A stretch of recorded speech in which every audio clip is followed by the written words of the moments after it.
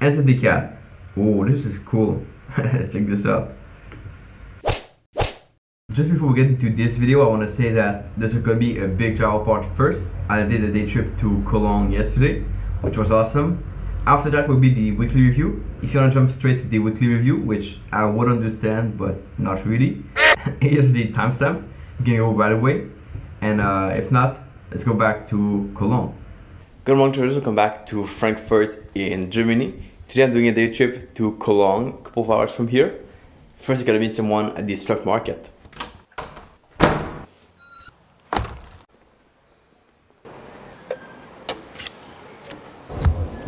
After four days of taking the subway and having countless instructions by different people, I still don't know how to use the subway and I still always pay the highest price possible not to get caught with the wrong ticket. But yeah,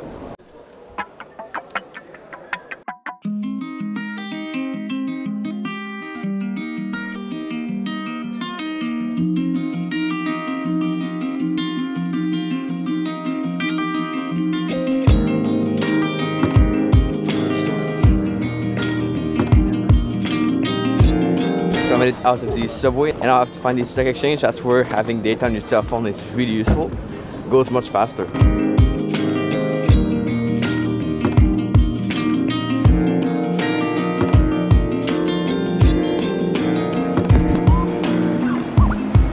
Alright, and I think I made it. I stepped just next door for some coffee, but the food looks so good. Amazing. This is guys the proof that we made it to the right stock market with the bulls. Now en route for Cologne and I'm with uh, these guys who bring, Cologne it's gonna be pretty interesting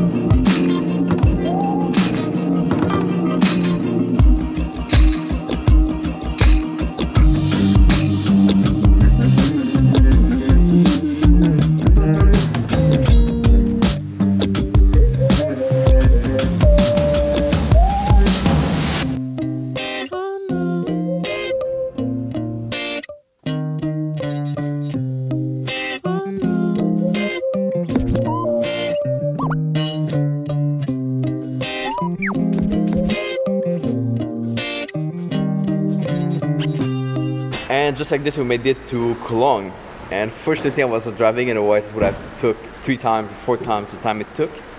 But uh, yeah, first look at the city. Looks really nice. I'm really, really impressed. It's kind of a different vibe than Frankfurt, but similar at the same time because it's still Germany. But we'll head out of this parking because there's nothing much interesting to do here, and we'll go explore.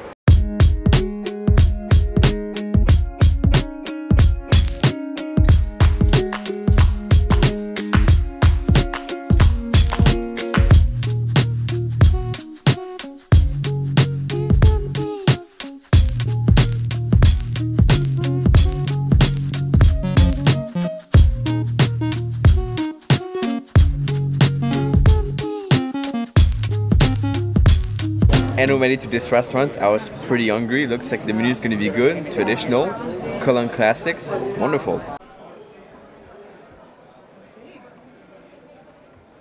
That was just an awesome lunch. And now we're heading to the cathedral, which is probably the number one most mentioned, most written about place to visit in Cologne. if you go on TripAdvisor, that's what they're going to tell you. You always have to do some of the touristic stuff, of course. So let's head there.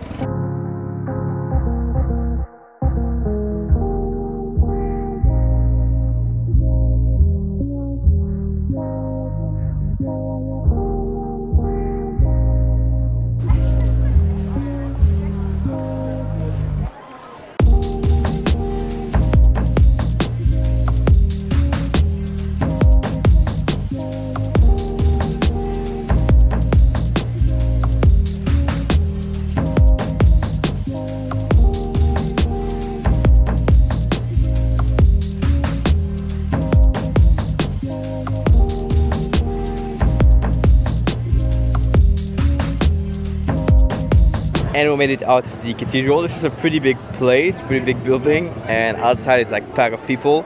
The probably most touristic place of Cologne, I guess. But it's a good, a good vibe. And now the dome.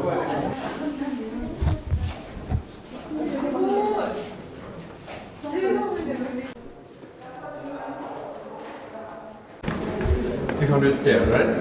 Alright guys, we made it to the top and as you can see I'm sweating because number one it's really hot when you climb the stairs. Number two there's a lot of stairs. But we made it at the top so view is pretty cool, worth it. And uh, let's have a look at this.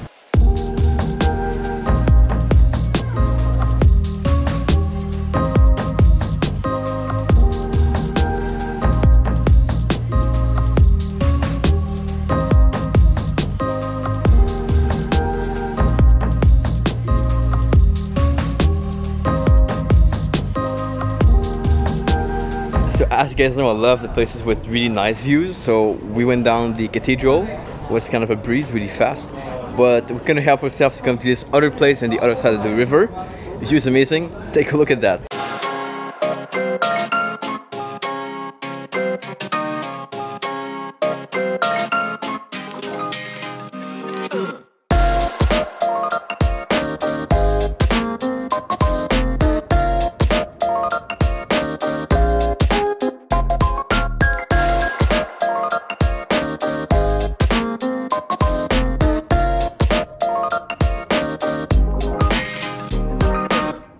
Had to work on saving the battery of the camera for the whole day, but we made it out now back to Frankfurt, and that was a pretty good workout. Pretty, uh, pretty amazing. Stairs, bridges, walking through the beer stands in front of the water, pretty cool.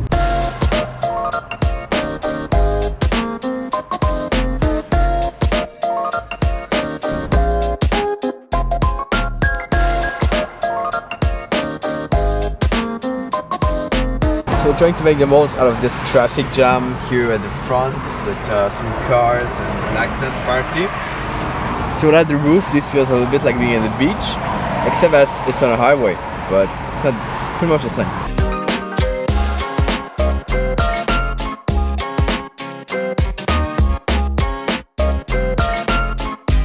And with that being said, awesome day. Now we are the next day and we'll do the weekly review as always. Now, I'll be honest, I didn't take a single trade last week.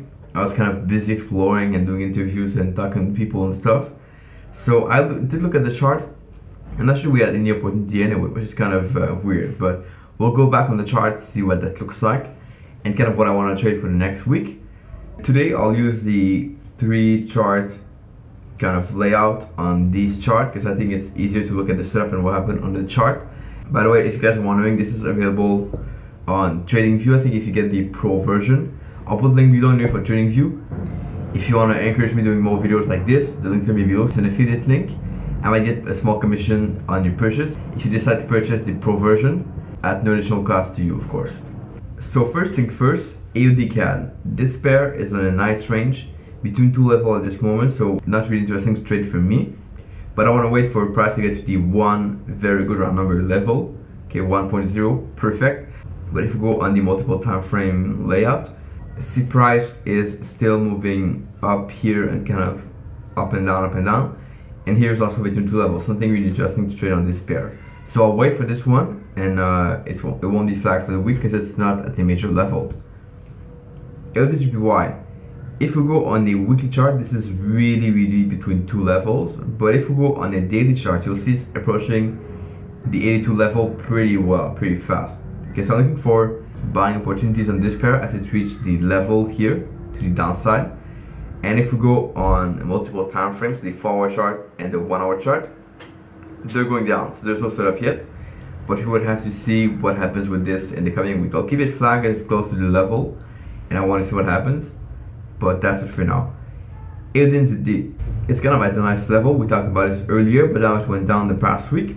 I want to see how this happened on the lower time frame we had a pretty cool setup here which I definitely missed that setup was at 5 this is a little bit late here in uh, Europe so if you're in Canada trade this perfect that's a great setup but for me that was impossible to trade it's like I think midnight or 1 a.m. or something But uh, as you can see, like it worked. So if you to trade this, perfect. I didn't take it and I accept that fact. But let's see if we had a setup. This is close, but no. So good pair that went down. Now we could wait for retracement back to the upper band of the Bollinger Band, either on the 4 hour chart or the 1 hour chart. And that's what I'll be trading for this pair. So I'll keep it flat at the zone and I'll keep looking at this pair. AUDUSD is at this major level, which we talked about a few times earlier, 0.75.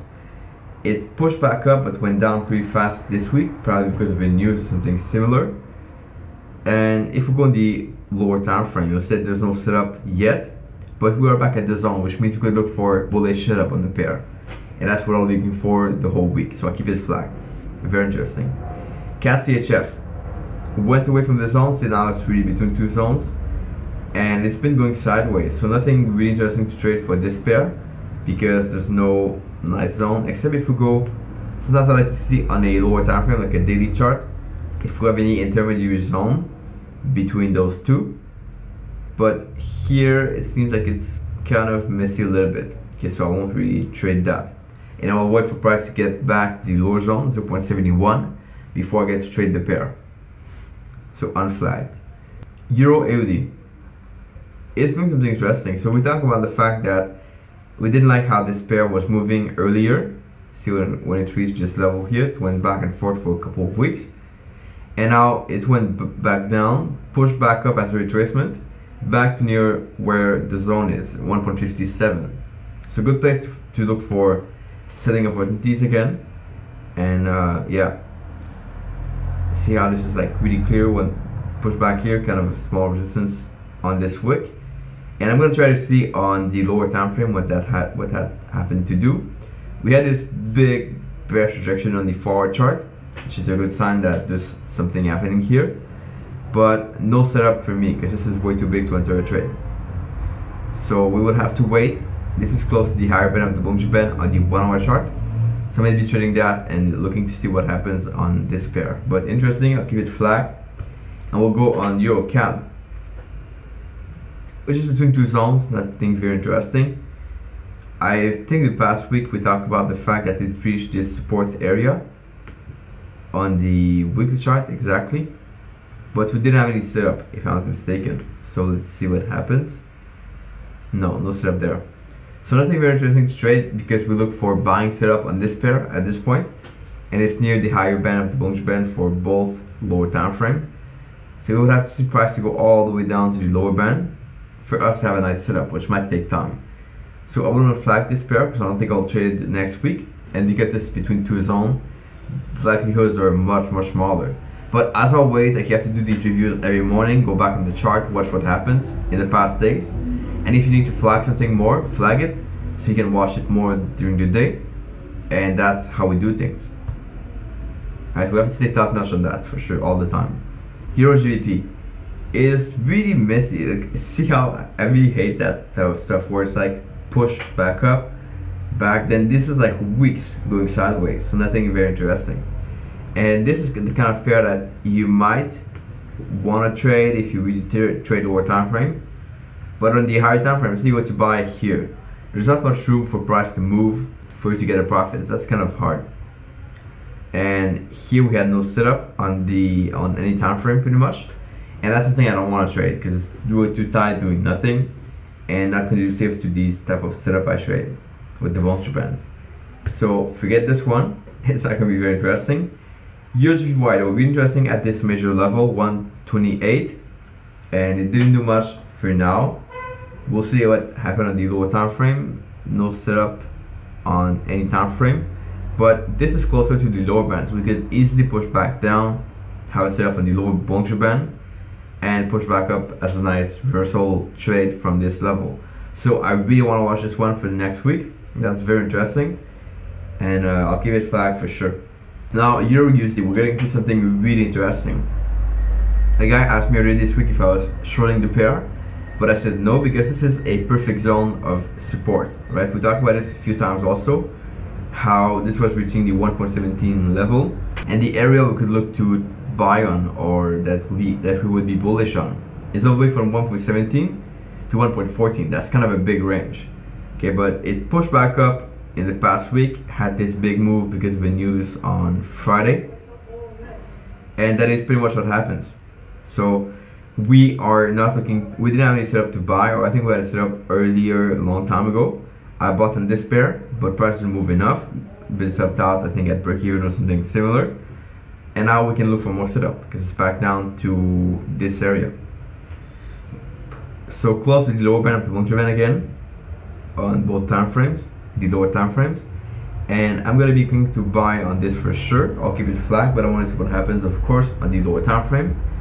And just a heads up that it's at the major level because this has been a nice support or resistance area in the past. Okay, so resistance here, turning to support over there, and coming back to the same zone. That's pretty interesting.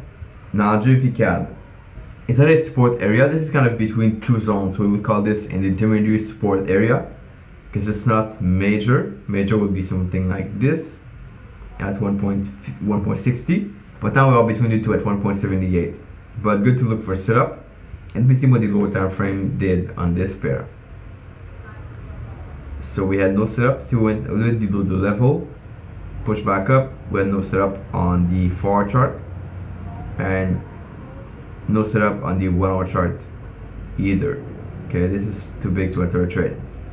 It's big candlestick. It's set up the we can look for more setup.